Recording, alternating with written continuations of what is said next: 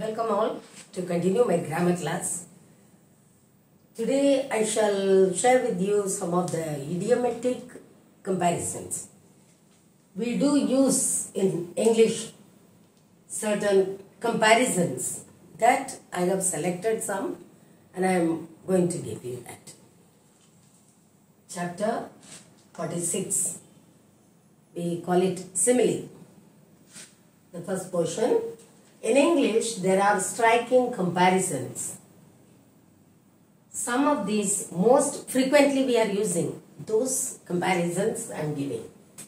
As active as quicksilver, as afraid as a grasshopper, as ageless as the sun, as alike as two beans or as alike as two peas,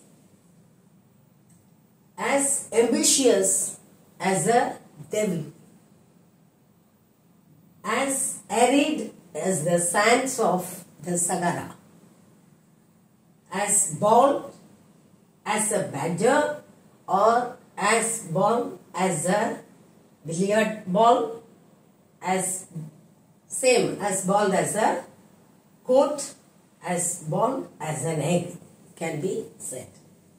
Next, as bashful as a schoolgirl, as beautiful as rainbow or as beautiful as a sunset, as big as an elephant or as big as a hole,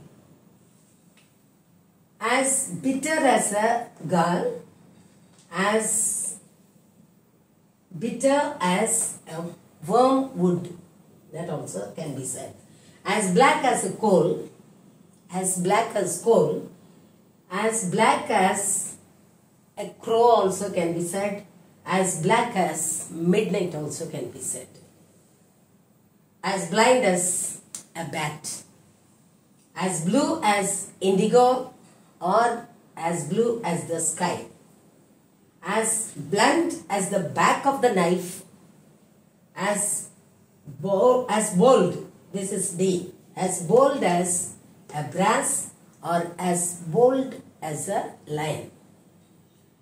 Then as boundless as the ocean, as plenteous as nature, as brave as lion also can be said, as brief as a dream or as brief as time. So this is placed in this video. Around 20 I believe I have placed in this video. It will continue to the next video. Kindly uh, take note of it. After, we'll, we shall continue after a short while. Thank you and bye-bye.